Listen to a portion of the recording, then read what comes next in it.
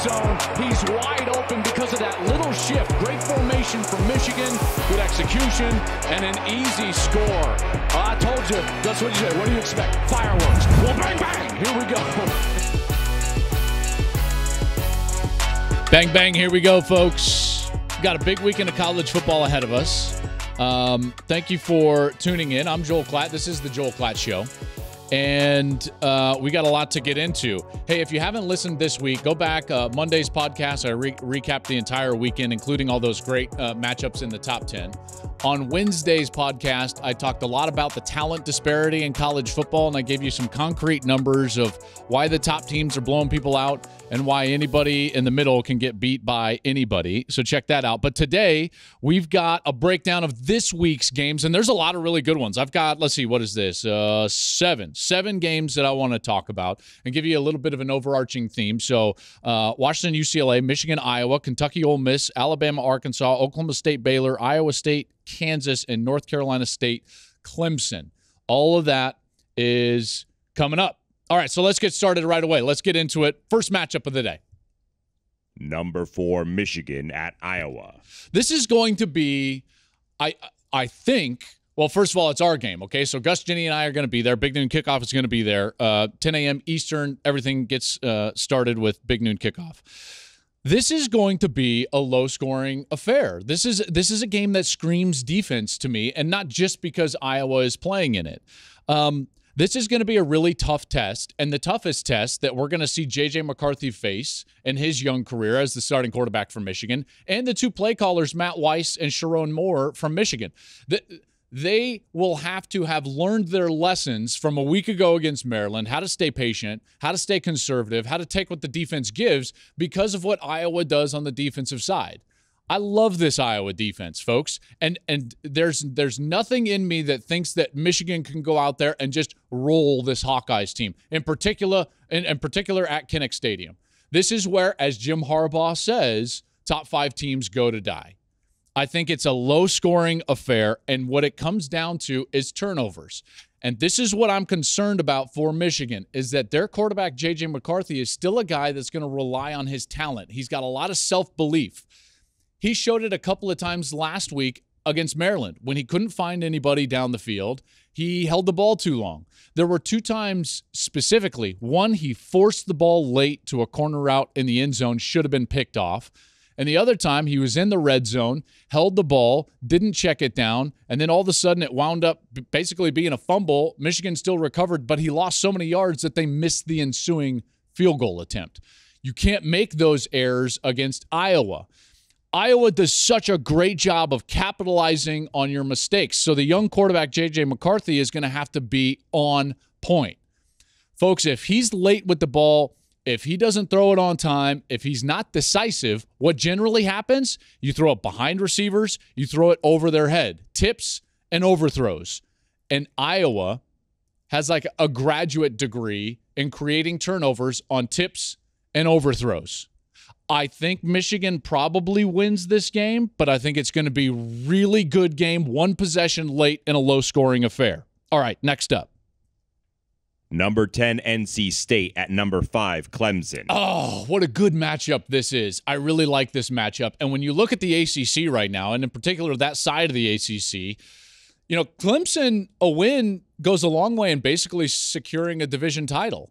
And you might be thinking to yourself, like, geez, Joel, it's like just October, relax. Well, when you really look at it, there's two main challengers, maybe a third in that side of the ACC Wake Forest North Carolina State, and Florida State. Clemson already beat Wake Forest last weekend in a really great game, by the way, that overtime game, and DJ Uiagalelei was terrific. So they they took care of one of their challengers in the division, and now here's here's the next challenger, NC State, which means that if they were to win this game, and let's say Wake Forest, who plays Florida State this weekend, beats Florida State, then everybody else in that division has a loss all all due respect to everybody else in that conference, those are your main contenders. That would mean that Clemson would have to lose twice in order for one of those teams to come back and win the division. So, like I said, this weekend could basically lock up a division championship for Clemson. Now, on the field, why is this game interesting? Well, NC State beat Clemson a year ago. This was a team that had a program defining win. That game was at North Carolina State. It was a game in which DJ Uiagalelei was still struggling mightily. He only threw for 111 yards that night and was 12 of 26. This NC State team is going to find a very different Clemson team that they face this year as opposed to last year. Number one, DJ Uiagalelei is a vastly different player and I think it showed last week in a game that he had to be great. He was great. He threw for over 300 yards for the first time since that Notre Dame game in the COVID year when he stepped in for Trevor Lawrence.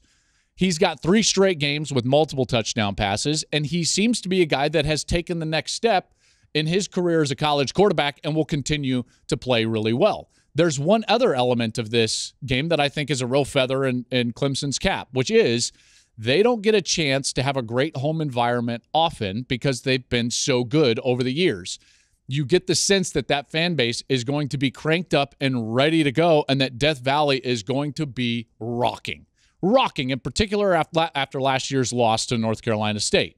This is a team in Clemson that has won 36 straight home games. I don't think that that streak is broken this weekend. Not with DJ playing better, not with that crowd being into a, a, whipped up into a frenzy. I think Clemson wins, and I think I think it could be big. Even though this is what looks to be a, a top ten matchup, I think Clemson wins, and I think they win it big, maybe by three scores. All right, next game. Number two, Alabama at number 20, Arkansas. You know, this one's interesting, folks. And the interesting part about this one, yes, listen, should Alabama win the game? Yeah, of course they should win the game. And if you listen to Wednesday's pod, you know exactly why. Okay, the talent disparity between them and the rest of college football is vast. And so, should they beat Arkansas? Yes. But why is this interesting? Well, Alabama has been struggling in true road games in the last couple of years. You just go back to the start of last season and what happened the first time they went on the road? They had to win a, a, a struggle bus type of game against Florida in the swamp by two points. Then they went to A&M, got beat by Texas A&M. They went to Auburn later in the year and played a four overtime game against their rival. And then this year they went on the road for the first time in 2022. And what happened? They escaped Austin by a point. So again, those are four of their last five road tests, and they haven't played great. So you might assume that they're not going to play really well against Arkansas. And Arkansas is a team that played them tough a year ago. So you you could talk yourself into hey, Arkansas's got a chance in this game. Hey, you know, Arkansas might cover all these different things. Hold on. Hold on to that thought. The reason Arkansas played so well against Alabama a year ago is that they were able to be two dimensional on offense. Bama's defense is incredible. All right. And, and that's not going anywhere anytime soon. Last year, KJ Jefferson threw for over 350 yards against Alabama. Why? He had a great wide receiver. We saw him drafted early in the NFL draft, Treylon Burks. Burks went eight catches for 179. It's a big reason why they were able to have success against the Tide is because they were two dimensional. They were balanced. I don't think that they have the ability to be that balanced this year. They certainly don't have a Treylon Burke style wide receiver on the outside. And if you la- watched last week's game, they weren't able to move the ball like they should have against what is I think a very average A&M defense. So what suggests that they're going to come out there and all of a sudden play great on offense against Bama? I think Bama wins this. I think that they win it big and I think that Bryce Young develops more chemistry with his outside receivers. That seems to be getting better ever since that Texas game. And I think that it's going to continue in that direction. I like Alabama. I like them big, even on the road against Arkansas. Next up. Number seven, Kentucky at number 14, Ole Miss. So this one to me is like for division supremacy in the SEC. There's been a lot of talk and speculation over the last few days and really the last week or so. It's like, hey, the SEC East, boy, the SEC East is really good, and they might be. But this game is going to go a long way in determining which side of that conference is actually better. Right now, the rankings, the AP poll, would suggest that Kentucky and Tennessee make the East the better side of the SEC. Ole Miss might say, hold my beer. we don't really know about Kentucky. I think Kentucky is one of those teams that if they weren't ranked so high based off of last year's performance, then they wouldn't have been shuffled up into the top 10 as quickly as they are now. I think this is a preseason bias style of rating. I don't think that they're better than Ole Miss. I think Ole Miss, by the way, is sneaky good. Ole Miss is a team that can bludgeon you on the ground. Did you know that Ole Miss is fourth in the country in rushing? I bet you didn't. Did you know that they've got a two headed running back monster right now and they can include their quarterback in that rushing game that is killing folks. Zach Evans, the transfer from TCU, highly recruited player to TCU, he's at Ole Miss, and Quinshon Judkins or Judkins, one of the two. We'll, we'll figure that out. But Quinshon is a heck of a player, uh, running it for over 100 yards per game. You've got Zach Evans there; he's a talented guy, and I think offensively, Ole Miss is a style of team that can just grind you into submission because of the way that they can run the football. I don't know what Kentucky is. This is for division supremacy. And with the game being at Ole Miss, you start to look at the trend of what Ole Miss is at home. Lane Kiffin in his first three home games at Ole Miss, 0 3. You'd be like, man, bad start for Lane Kiffin. Since that point, 12 and 0 at home. They're 12 and 0 in their last 12 at home. Give me Ole Miss in this one. I think they take care of business. They beat Kentucky, and we start to look at the SEC West as the better side of the SEC than the East. Next up number 15 Washington at UCLA. Oh, this is a sneaky good game. Friday night, if you don't know about it.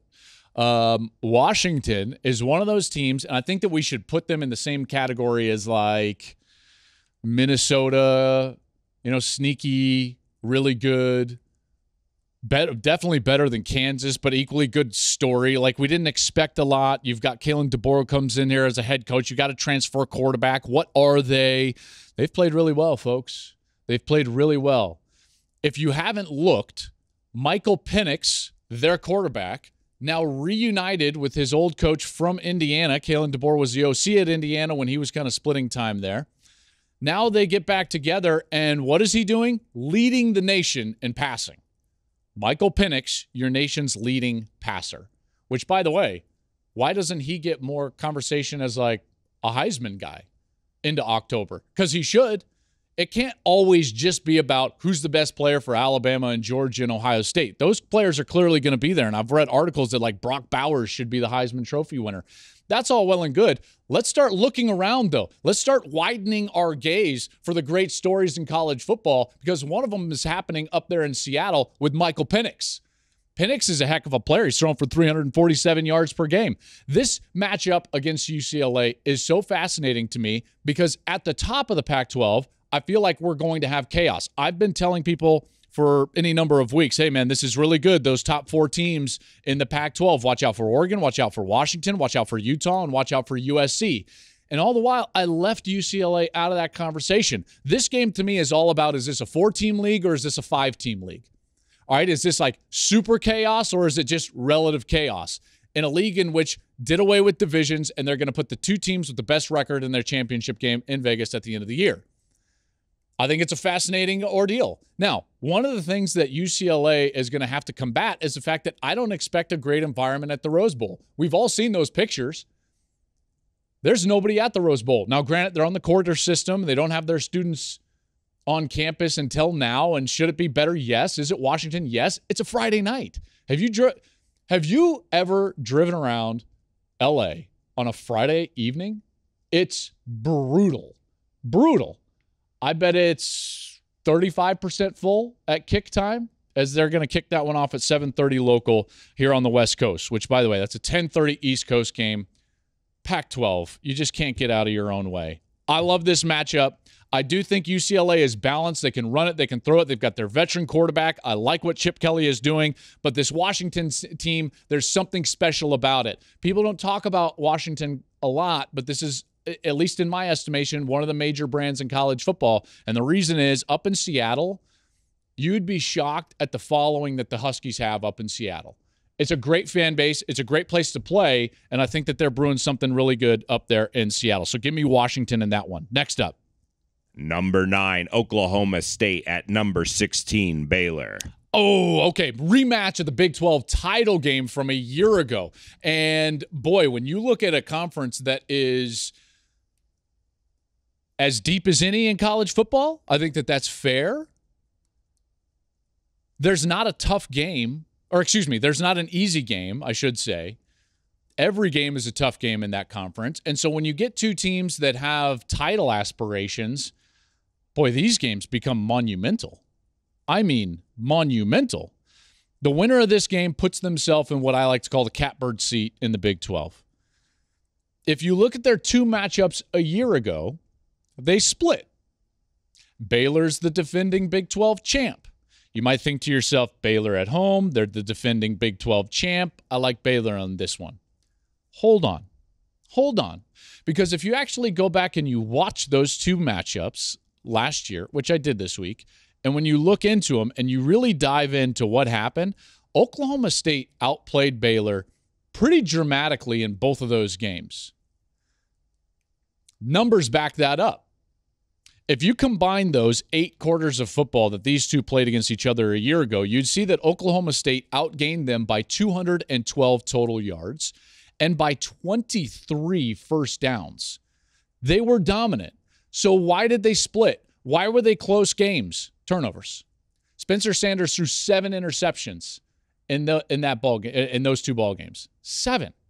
Like you can't do that and win the game. And it ultimately came back and bit them in that game in the Big 12 championship. If they would have won that, by the way, it would have been a huge debate about who was actually going to be in the playoff with that fourth spot. It went to Georgia. Georgia, well, Georgia was third, Cincinnati was fourth, but Georgia went on to, to win the national championship. I say that only to say if they can hold on to the football, they should beat Baylor, even on the road. I think that they're better. They've got a veteran quarterback.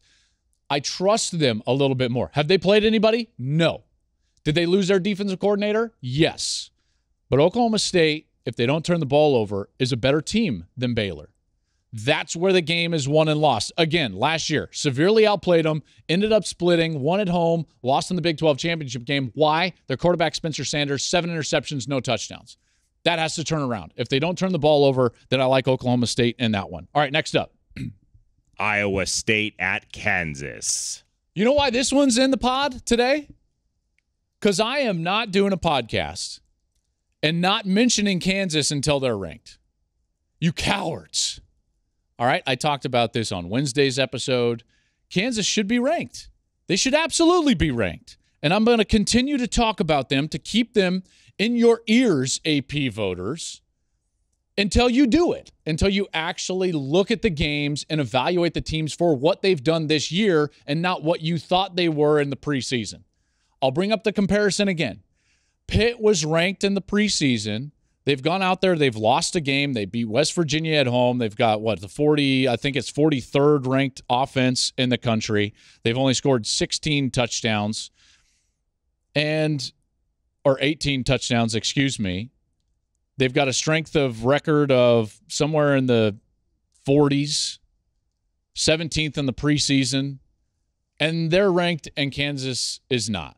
Kansas has a strength of record of six. They've got the fourth ranked scoring offense in America. They've got Jalon Daniels, who, like Michael Penix, should be talked about going into October as one of those players playing himself into the Heisman Trophy contention. They've scored 27 touchdowns as a team. The only other team in college football that has scored that many touchdowns is Ohio State who I have said many times has the best offense in all of college football. Kansas is for real. They host Iowa State this week. I hope that the environment is as good as it was last week for Duke. I think Kansas wins the game. I think Kansas wins the game, and maybe you cowards in the AP will actually vote this team in and put them in to the AP poll. They deserve it. Lance Leipold deserves it. Jalon Daniels deserves it. Their fan base deserve it. Do the right thing. Going to be a tough game because Iowa State is not an easy foe, but Jalon Daniels is going to be the best player on the field, and I think that he and the Jayhawks beat the Cyclones. All right, folks. That's going to do it for today's uh, edition of the Joel Klatt Show. Appreciate you listening. Go and download this show, subscribe to the podcast so that you get all the episodes. We come out every Monday, every Wednesday, and every Thursday, every single week. I, I can't thank you enough for listening and being a part of the show as we start up this brand new Joel Klatt show. You can follow us on social media at Joel Klatt Show. You can follow me at Joel Klatt on, tw- on Twitter, at Joel underscore Klatt on Instagram. And it's going to be a wild weekend, folks. I'm going to be in Iowa City, Kinnick Stadium. We're heading your way. Can't wait to see you. Enjoy the weekend, everybody.